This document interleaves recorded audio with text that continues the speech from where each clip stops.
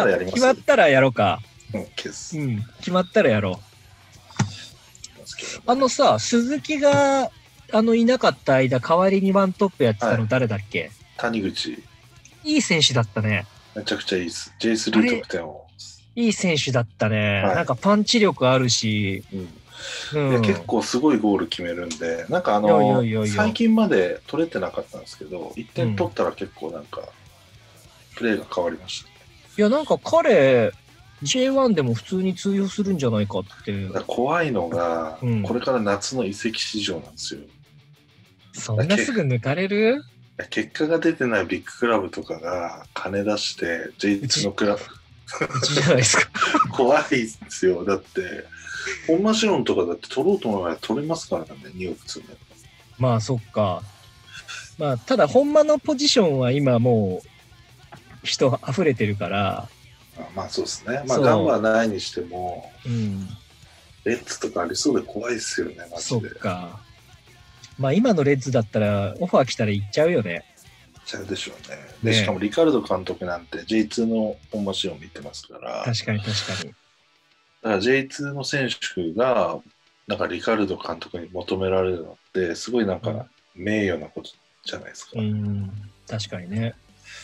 で、やっぱりか無敗で13、13試合無敗って結構すごいんで、うんうん。あの、見てるじゃないですか、J1 のクラブだって絶対。当然ね。だから怖いですね。まあ、それは琉球にも言えるんですけど、うんうんうんまあり、まあ、京都も琉球も負けないんで、マジで怖いですね。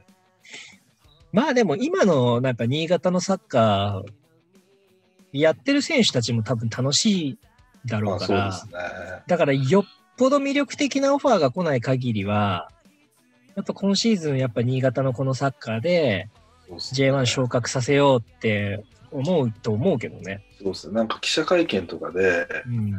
その、新選手お披露目のファンミーティングみたいなのを見たときに、うん。新潟のサッカーがやりたくて、うんその移籍を決めたっていう選手が結構いたんですよ。おーそれって今まで聞いた時なくて、そんなこと。すげえなと思って。うん。で、なんかあの、コウ選手に関しては、あの、新潟と山口がき去年アウェーで試合した時に、コウ選手がすげえ活躍したんですよ。うん。うん。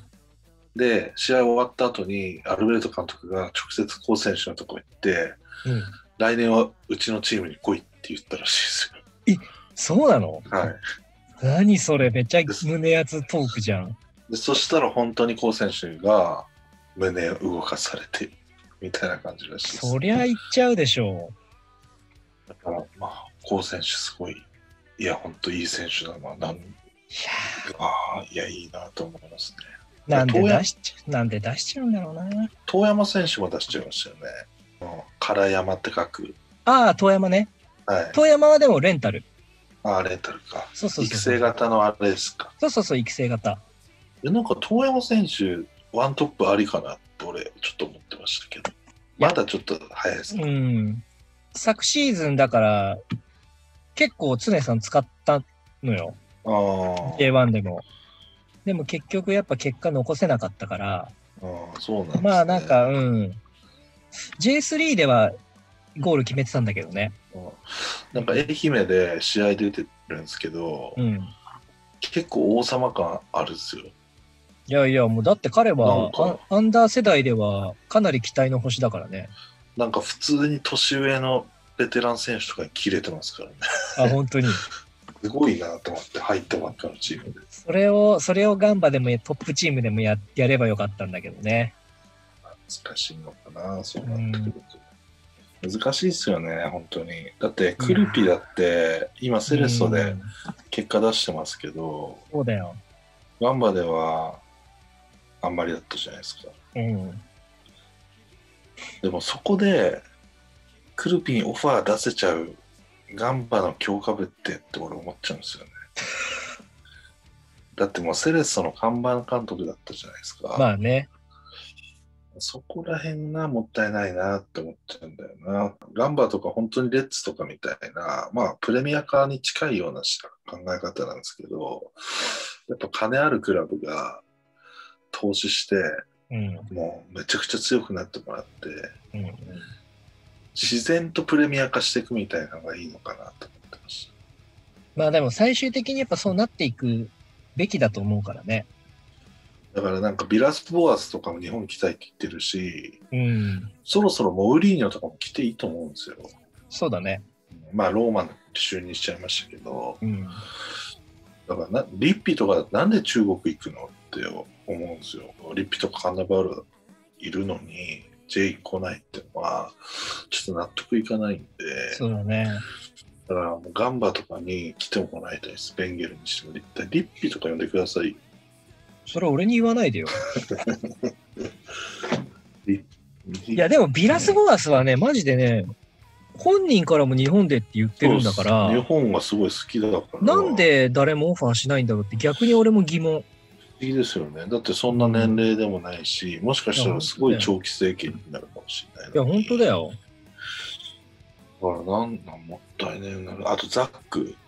ザあック来てほしいですね。あ、わかる。なんで J リーグ取らなかったんだろうって思うよね。ザックガンバいいんじゃないですか？ザックガンバか。いや、俺全然、俺全然見たいけど、ザックガンバ、あとなんだろう。なんでトルシエとかも代表だけで終わっちゃったんですかね。ねえ、やっぱ確実なのかな。年俸高いんじゃない？どうなんですかね。うん。だって代表の監督やってる時点でさ、3億とか4億とかでしょ。そういうレベルか。さすがにそれをさ、監督一人のためには払えないじゃん。今って最大で1億ぐらいですか、監督ね。監督、多分そんくらいじゃない、ネルシーニョとかかな。うん。うん。だって、そうか選手にすらさ、1億払えてないのにさ、うん。J1 のトップクラブ、トップクラスの選手ですら1億もらってるかもらってないかでしょ。そうですね。そういう状況でさ、監督いくらすごい監督だろうが、3億、4億はさ、そう。だから今回イニエスタのね、契約延長もさ、はい結構年俸なんか無理いったみたいなこと言ってたじゃん。はい。うん、そんな、や楽天ですらだって32億払ってたんですよ。無理だよね。J2 何チーム分なんだっていうところじゃないですか。まあでも多分グッズの売り上げで元取ったと思うけどね。まあ、そうなんでしょうけどね。うんなんか、純粋なサッカーファンからしたらもうそれでいいのかって感じしないですか？嘘俺はでもそれでもなんか日本で見れるチャンスは作ってくれたから、ナイスって思ったけどね。そうか。うんなんか俺だったら32億あったらまあ6億の選手5人取れんなと思っちゃいますね。ああ、まあね。うんでも、うんまあこれは考え方の違いだな。6億の選手、まあ6億の選手で、えっ、と何、5人？5人。?5 人か。はいまあ、ぶ実際そんだけいたらインパクトは半端ないんだろうけど、でもまあそれでもやっぱりイニエストが来るっていうはインパクトに比べたら、そうっすね。うん。だからなんか、その思思い切ってそういう有名な選手連れてくるとか、まあ過去にもさ、フォルランとかさ、ちょいちょいチャレンジはしてるわけじゃん。まあそうですね。そう。でも結局それでさ、じゃあ結果が上向かなかったとかさ、その呼んできた選手のこ、ね、個人的な成績で言うとフォルランもあんまり点取れなかったとか、で、それでやっぱり失敗だとかさ、そ、その選手に6億も払ってみたいな風になっちゃうじゃん。で、それ言ってるから、なんか多分まあ中国に持ってかれるんだよねっていう。うん。すねでもまあ中国も、あれですよね。あの、年俸上限作りましたよね。ついたついた。ってことは、J の時代が来るな。来てほしいけどね。てか、そうじゃないとオーバーエイジの使い方間違っじゃ、あの、正解じゃないよね。そうなんですよね。うん。あ、今度オーバーエイジトークしますか。ああ、それもやり、やろうか。ああえっと、東京オリンピックの。そうだね。ってところでさっき話に出た藤原選手は今何だから藤原も多分怪我なんだよ。あだけど情報が本当に出てこないから、あ怪我人を発表しなきゃいけないなんていうルールないですもんね。そあう。だけど、サポーターからしたら不安だよね。まあそうですようね。ん。どういう怪我なのか、そでコロナなんじゃないかみたいなのもありますよ。いや、そうだよ、そうだよ。だからそれも含めてさ、ほんとね、わかんない。もうとにかくサイドバックがち絶望。なるほど。まあ、ちょっと右サイドいないっすね。うん。もう何が何でも三浦ときあの庄司はサイドに引っ張られちゃいけないんだけど、出ざるを得ない状況に今日はなっちゃってたから。新潟もそうなんですけど、失点するときって、結構そのセンターバックがサイドに引っ張られてるときなんですよ、どっちかのサイドに。で、やっぱりその、もちろんその、スペースを埋めるっていう意味合いで、ボランチが下がってきての、埋めることはできても、動き出しがあるフォワードの、をゾーンで見るのってすごい難しくて、うん。そういうとこは外されやすくなっちゃうんですよね。ユンカーとかなんて初めて対戦するわけなんで、うん動き出しとかは多分全く分かんないかったと思うんですよね。そうだね。だからまあちょちょっとまあ気の毒といえば気の毒なんですけれど、うーん、どうだろうなっていう。まあでも、まあでもとはいえ、常にゴテゴテだよ、今は。まあ大丈夫ですよ、ガンバですから。俺、いっそのこと矢島を真ん中じゃなくて右で使った方がいいと思ってて。サイドハーフですか？そうん、俺もそうう。思います。うん。うん矢島はやっぱりその、攻撃センスがいいそうから、そうそうそうそう。前で使いたいですよね。そう。前でやっぱ攻撃やっぱ活かしてあげた方がいいと思うんだよね。今のなんか選手層を考えたら、もう4バックじゃなくて3バックの方がいいんじゃないかって思ってて、343、433よりも 343? 3-4-3になった時に、どこでその、守備時の4バックを作るかっていうところいや、もうね、4じゃなくて5にしちゃう。もう常にす、あ、5にしちゃうってことですか。そうそうそうそう。あ、じゃあ、両サイドハーフが降りてくるってことですか。そうそうそうそうそなるほど。う。うん。で、まあその代わりに、まあ3、3トップでウイングがいるわけだから、だから今、今いる選手を考えるとってことね。うん。サイドバックがとにかく明らかに足りてないわけだから、じゃあ例えば、小野瀬を右サイドバックでっていうよりも、だったら一列前で、まあ、サイドバック的な守備のタスクもこなしつつ、の方が、まだなんか攻撃に特化できる気がするし、まあセンターバックは揃ってるから、まあ、3人センターバックで使っても、ク。鬼の過密日ってありませんでした。いや、そうだよ。ここから、そうなると一人でもやっぱ選手欲しいような気がする。そう、サイドバック、だからなんでみんな完全移籍で出しちゃったんだろうなって思う。うん特に、特に右サイドバックの松田陸っていう選手が、ああ、松田陸。そう、金沢に行ったのかな？はいはいはい。もうだって、編成見た限りどう考えてもサイドバック足りてないってみんな思ってんのに、うんなんで出しちゃったみたいなうん。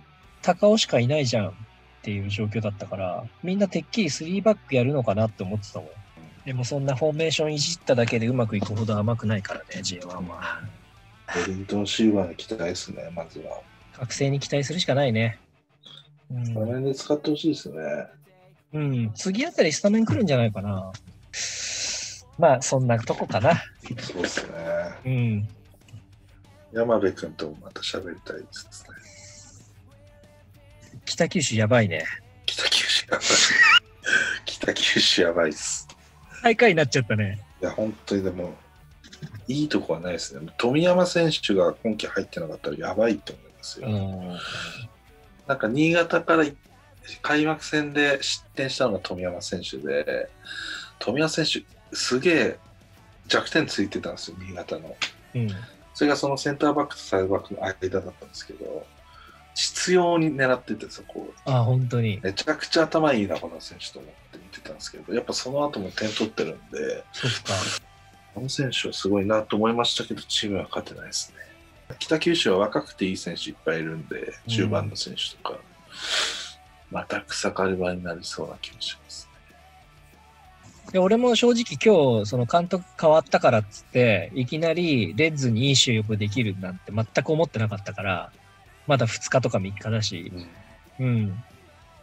うん。で、しかもまあ、今、まだ10試合で、うんで、まあ、この状況での解任だと、あの年コロナもあったし、大変難しかったよねっっていうふうにちょっと評価をごまかせるというか、うん。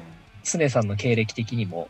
ああ、なるほど。そう、これが本当にあ20節ぐらいまで引っ張って、それで本当に降格争いしちゃってたら、それこそその2度目の登板とかがさ、難しくなってきちゃうから、うんうんなるほど。守る意味もあったってことですね。っていうのもあるのかなって、松並さんがまさにそれでさ、うん。前回最後まで指揮頑張って取ってくれて、結果2部落ちてさ、うん。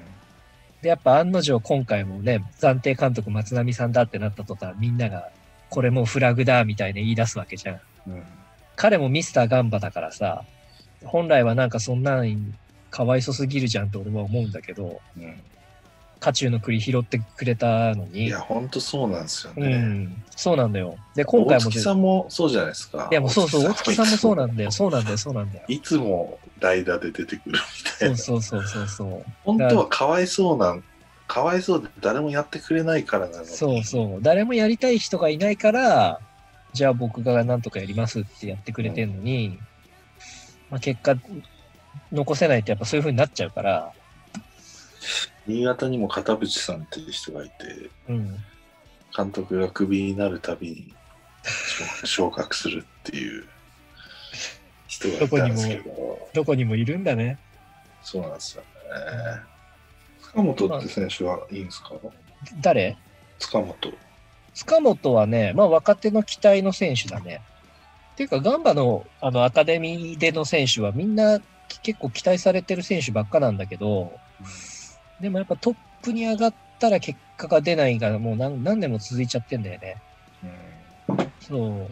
奥野も、えっ、と、アンダー15とか中学生ぐらいの時は、もうあの MVP とか取ってる、うんうん、うん、ああいう大会とかでもう優勝して MVP とか取ってるぐらいの中心選手で、もうだから中学生ぐらいの時から名前知ってて、えー、そう、あ、この人は絶対トップ来るなって思ったらやっぱトップチーム上がったけど、でも結局やっぱその時期待されてるような日本代表の中心選手に将来なるって言われてて、その時も。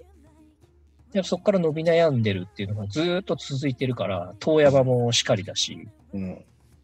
ゴヤ出しましたね、ゴヤ。母小屋、もったいないことしたよもっね。たいないですよね、うん。今、レイソルだっけ？レースで。うん。なんかでも、プレースタイルというかが、なんか丸くなったというか、人間性が。はい、コロナ終わって会ってやりたいですね、話したいですね。そう、やっぱねい、いつまでもこんなズームの動画だけで、1000人、まず目指せ1000人ですよね。まあちょっとまずそこ目指して頑張ろそうですね。う。うん。まあ、俺はいつでもあれなんで。うんまあこうやって話してるだけでも楽しいけど。そうなんですよね。そうそうそいやこん J リーグの話、こんなにできる人いないんで、う。あ、本当に？はい、周りに。そっかそっか。うん。またじゃあ連絡するね。お願いします。うん。ありがとうお疲れで。した。おやすみおやすみなさい。じゃあ、モンハンします。早く寝て。はい、お疲れ様おです。疲れ様。